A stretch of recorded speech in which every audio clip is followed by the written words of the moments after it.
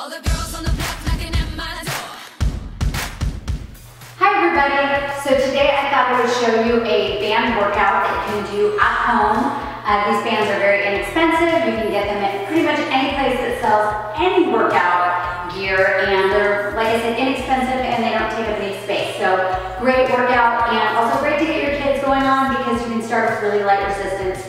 So I'm just gonna um, show them, model them um, a few times for you and you can do this workout all on your own by yourself. So this is what we're gonna do. We're gonna do sets of 16 and let's do it two times all the way through on each side. So we're gonna start, this will be the first exercise. You're gonna start on one foot, the other foot behind. So you really tuck your hips, engage your core, dig your elbows in your rib cage, and we're gonna start just with a bicep curl.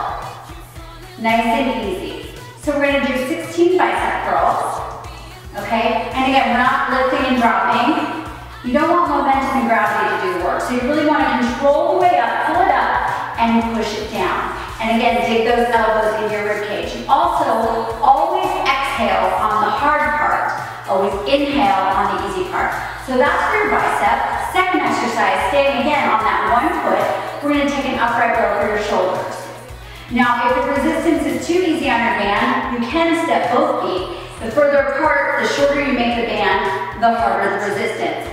Elbows are high, shoulders are away from the ears. So try not to let your shoulders shrug up. Keep those shoulders relaxed, push down, 16 times. Again, which part is the hard part? The way up, right? So blow it out, breathe in. So if you have a teenager at home that's wanting to get into working out, this would be a great way to start. So that's one exercise for the shoulder. Then what we're gonna do is we're gonna take a lateral raise. Just gonna go with one arm, stepping on that band, getting resistance, enough resistance where you get stretched, but not enough where you hurt your shoulder. And again, we're gonna go 16, blow it out, hard part, breathe in. Shh, breathe in. Blow it out, breathe in. 16 times lateral raise.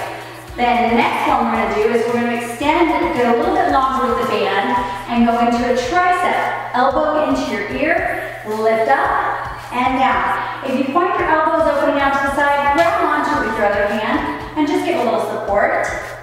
Keep that elbow in, blow out on the hard part, the way up. Breathe in on the way down. Keep it nice and controlled, standing up on that one tall leg, tucking your hips, engaging your core.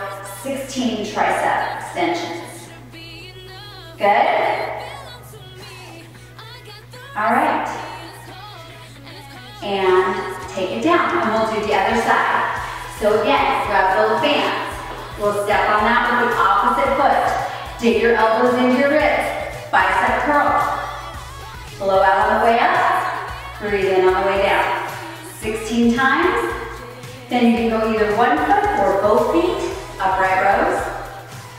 16 times. Keeping your hands close to the center of your body. On that one, pull up. Elbows high, shoulders relaxed. Push down. Pull, push 15 times.